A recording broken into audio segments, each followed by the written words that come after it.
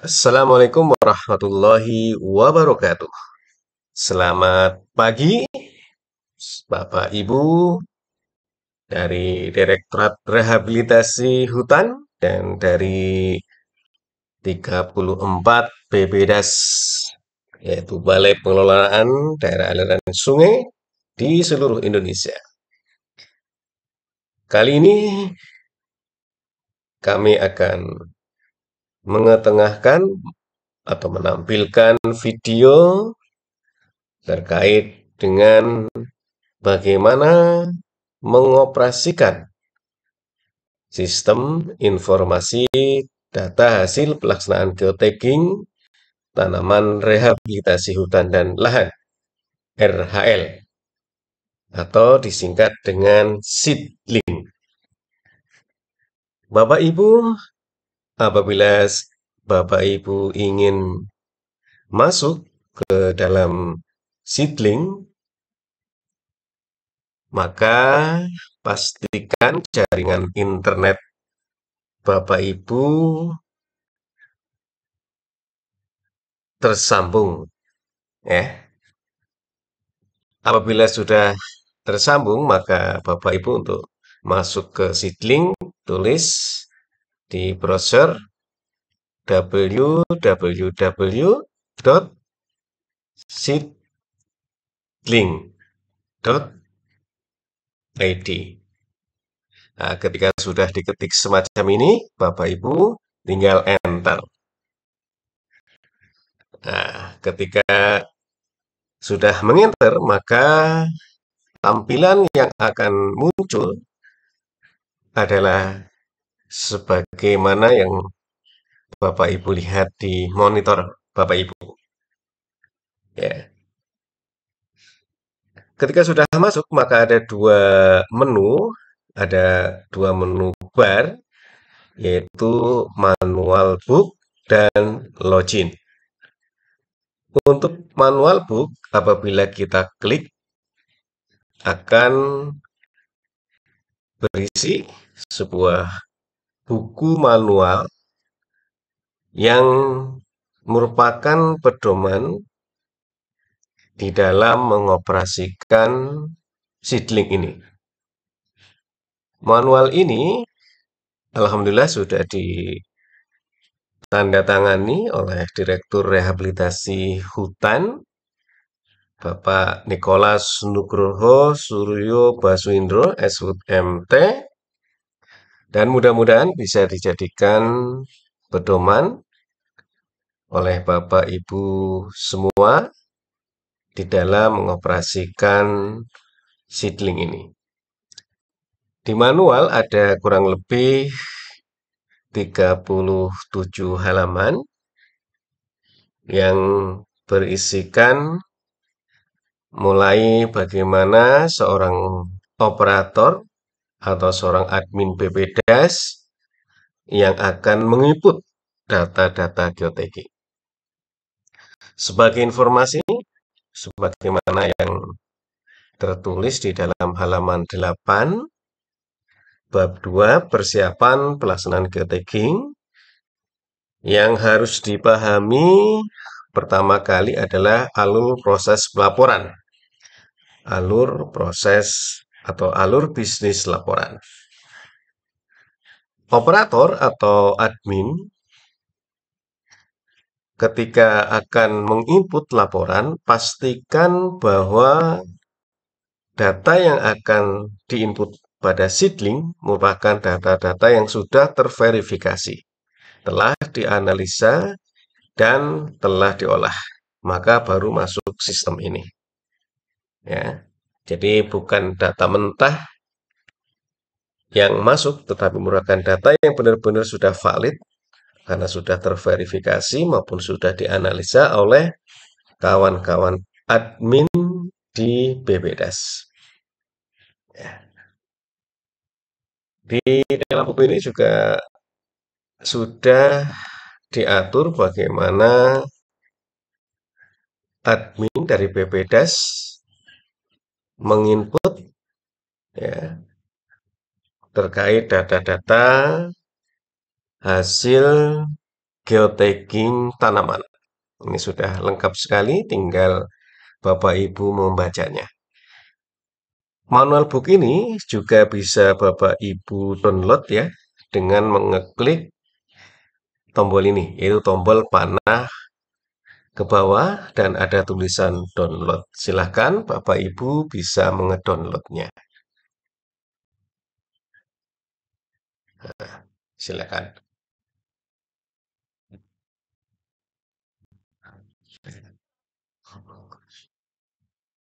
Yang kedua, tabular yang kedua adalah atau tab yang kedua adalah login. Apabila Bapak Ibu mengklik login ini, akan muncul tampilan sebagaimana berikut. Ini ya, ini ada tulisan selamat datang. Di sini ada email dan password. Dan perlu Bapak Ibu ketahui bahwa login ini akan memuat dua admin secara garis besar, yaitu admin sebagai Direktorat Rehabilitasi Hutan, yaitu admin pusat, dan admin BPDAS. Dan kebetulan yang di sini adalah admin BPDAS. Admin BPDAS sendiri merupakan pegawai yang berasal dari BPDAS masing-masing yang sudah ditunjuk oleh kepala balainya untuk menangani ini. Dan Alhamdulillah kemarin sudah ada penunjukan-penunjukan yang berasal dari kepala balai dan akan kita SK-kan melalui SK Direktur Rehabilitasi Hutan. Nah, ini ketika kita mengetik email ya kembali ke admin tadi, maka kita memasukkan email ya. Ini emailnya, kebetulan Raihanisti ini adalah admin BPDAS Cimanuk Citandui yang yang sudah ikut serta di dalam proses uji coba sistem. Dan kemudian adalah password. Dan kita klik mas password. Lalu kita klik masuk. Password ini akan diberikan kepada masing-masing admin BPDAS oleh admin pusat. Ya, yang membuat password ini adalah admin pusat. Nah, kebetulan ini yang Raihanisti ini sudah diberi password oleh admin pusat. Lalu kita klik ya. Kita klik. Nah, maka ini sudah ada Siti Raihani selaku admin ya dan profilnya, profil ini bisa diganti atau bisa dilengkapi dengan foto dan lain sebagainya oleh yang bersangkutan. Silahkan kawan-kawan, Bapak Ibu yang telah ditunjuk sebagai admin BPDAS bisa melengkapi data-data dan kita add di profil. Inilah Bapak Ibu tampilan dari BBDAS selaku admin. Ada tiga tabular yang tampil di sini, yaitu dashboard, kelola laporan, dan profil. Ini profil sudah kita jelaskan, dan dashboardnya ini. Ya. Ini adalah tampilan peta dan foto geotagging yang sudah diupload oleh kawan-kawan. Apabila admin BPDAS ingin memasukkan data ataupun mengedit data, maka klik kelola laporan. Nah, klik kelola laporan, maka akan muncul list laporan, rekapitulasi laporan, dan tambahan laporan. Ini adalah listnya ya. Kebetulan Bu Siti Raihani telah memasukkan tiga ya. Itu contoh kontrak nomor 116 dan kontrak 115. Dan tanggal waktunya juga sudah dicatat di sini. Berarti pada tanggal 11 Februari, eh 11 November memasukkan data, 8 November memasukkan data pula, 8 November juga memasukkan data. Ini adalah uh, list laporannya. Apabila kita mengeklik rekapitulasi laporan, maka akan muncul ini di BPDAS Cimanuk Citandui. Ini tahunnya 2023 karena di tahun ini ada tahun 2019 sampai dengan 2023 dan insya Allah akan dimasukkan pula tahun 2024. Ini juga bulannya apabila kalian ketik akan muncul Januari sampai Desember ataupun seluruhnya. Nah, kita posisi cobalah yang di bulan November karena memasukkannya di bulan November. Maka kalau kita ingin mengunduh, klik unduh, ada dua format PDF atau Excel. Apabila PDF, maka akan tertulis sebagaimana ini. Ya, rekapitulasinya. Dan bisa di-download Bapak Ibu semuanya dengan mengklik tombol panah ke bawah dan tertulis download ataupun langsung mengeprint dengan tulis dengan mengklik gambar printer dan cetak. Bapak Ibu juga bisa mendownload dalam bentuk Excel. Ya, ini sudah eh, kita ini kan sudah di-download dalam bentuk Excel, kita klik ya. Nah, ini sudah sudah tampil dalam bentuk Excel-nya. Ini ada kita klik ya. Ini bentuk dalam bentuk Excel-nya. Ini sudah ada semuanya.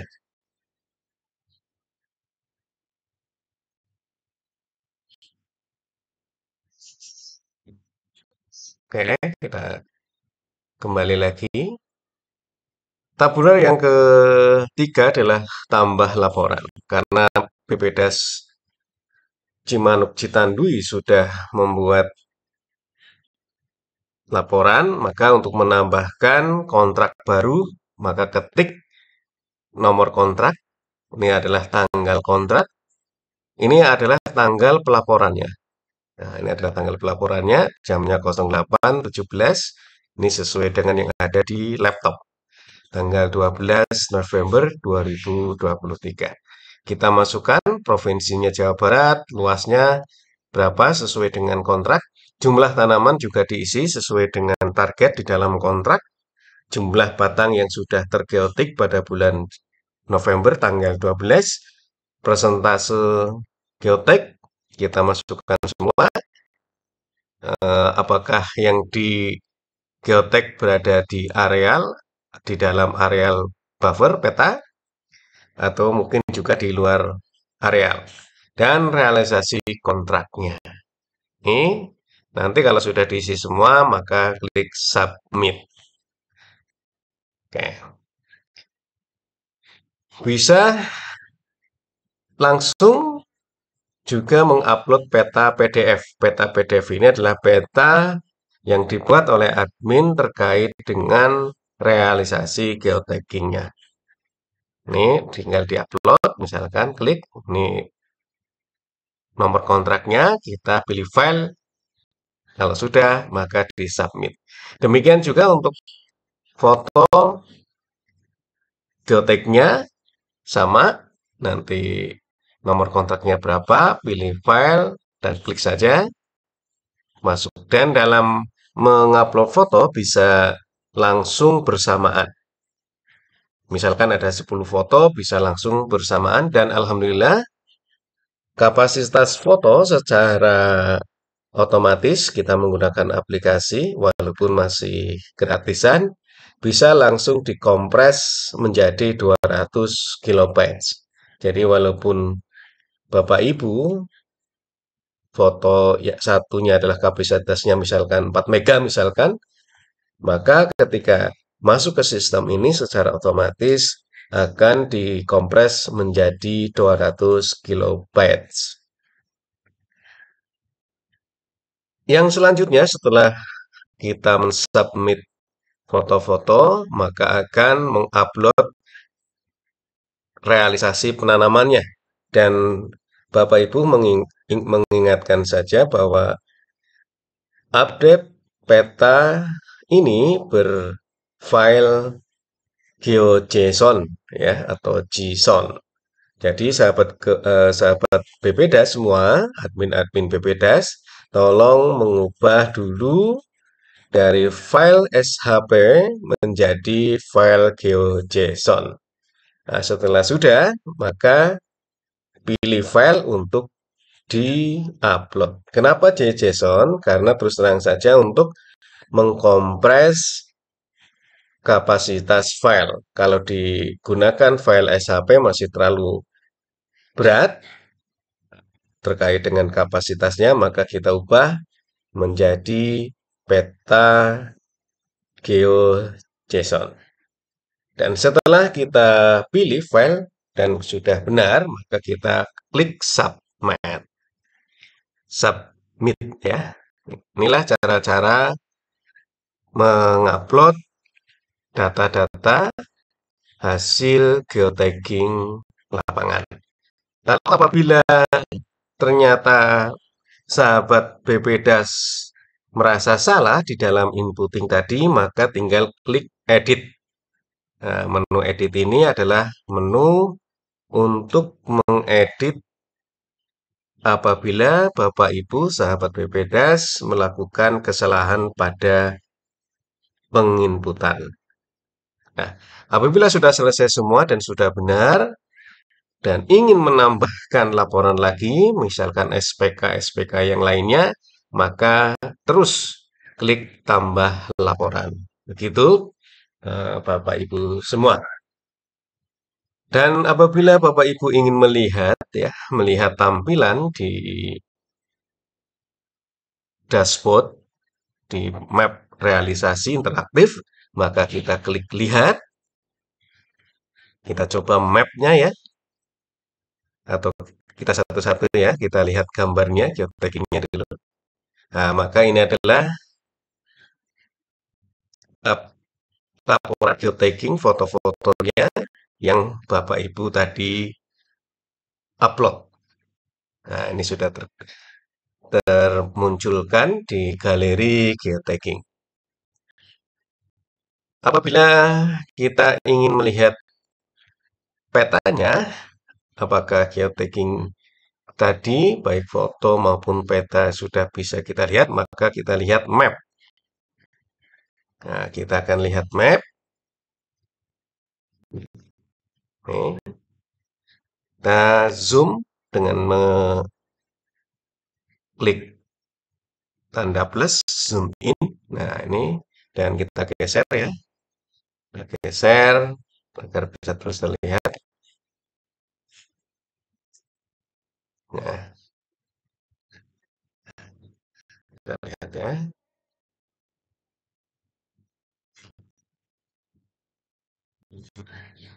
Nah, inilah peta realisasi penanaman dan juga foto geotag yang telah dimasukkan oleh Bu Siti Raihani admin BPDAS Cimanuk Citandui.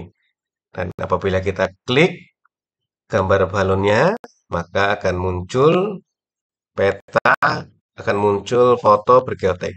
Ya, ini fotonya. Ya, apabila kita besarkan lagi, kita coba ya, kan masih kecil. Nah, oke, ini dia. Nah, ini adalah foto tanaman yang berada di dalam peta realisasi nomor kontrak SPK 115 di tahun 2022. Oke. Baik. Itulah bagaimana cara menginput data numerik maupun data-data peta dan foto geotag ke mapping realisasi RHL. Lalu bagaimana admin pusat bisa melihat terkait laporan-laporan yang sudah di input oleh BPDAS BPDAS seluruh Indonesia? Maka kita kita coba lihat ya, kita keluar dulu dari akun Bu Siti Raihani. Kita keluar.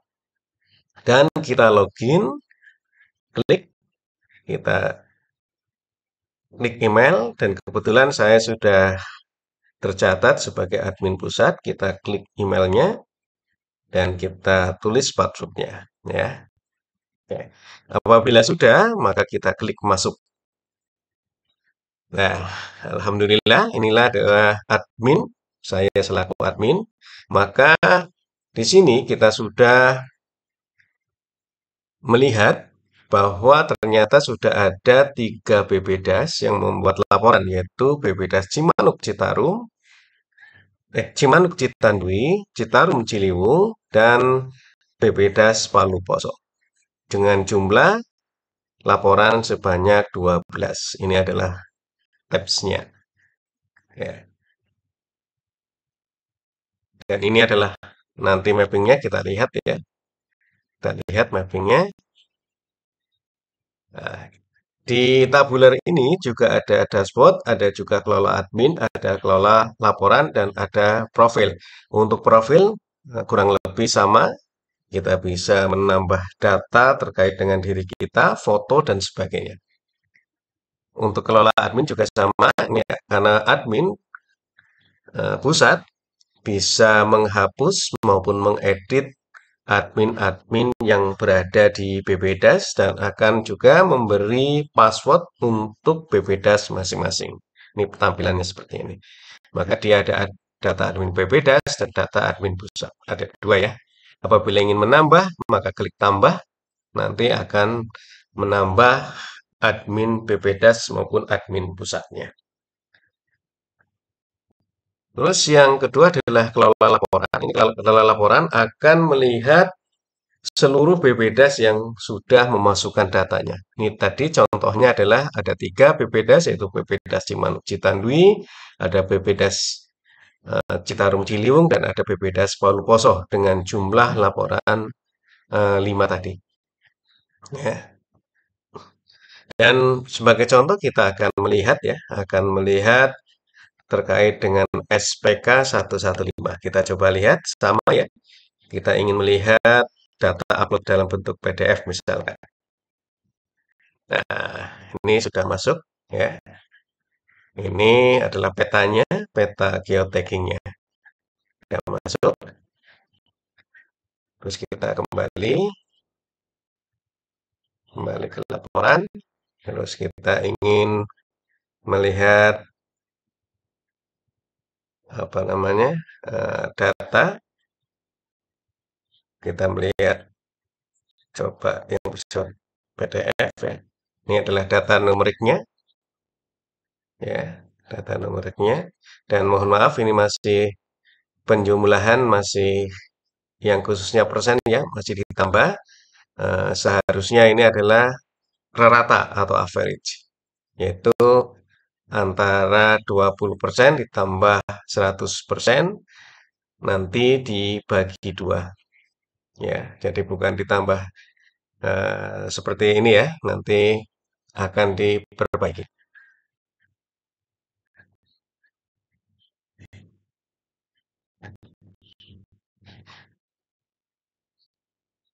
Dan apabila kita ingin melihat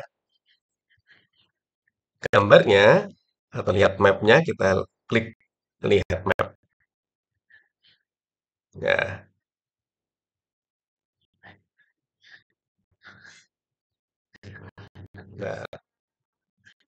oke satu satu enam ya saya lupa ini. Satu satu enam atau saya lihat mapnya. Nah ini dia. Satu satu enam. Ini adalah petanya. Sama tadi tampilannya dengan yang dimasukkan oleh BPDAS Cimanuk Citadui akan sama. Ya. Klik, klik ya, ini Petra 116.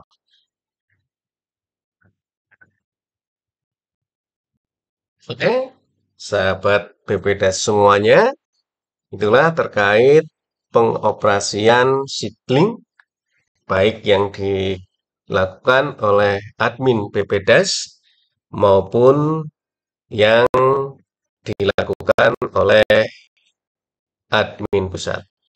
Mudah bukan? Ya, sangat-sangat mudah.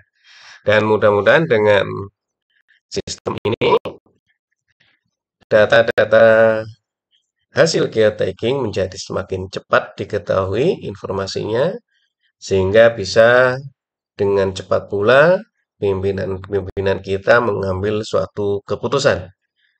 Dan jangan lupa apabila ada keluhan, silakan Bapak Ibu admin BPDAS segera menghubungi PIC masing-masing sehingga segala permasalahan bisa kita atasi dengan cepat. Terima kasih dan Assalamualaikum warahmatullahi wabarakatuh.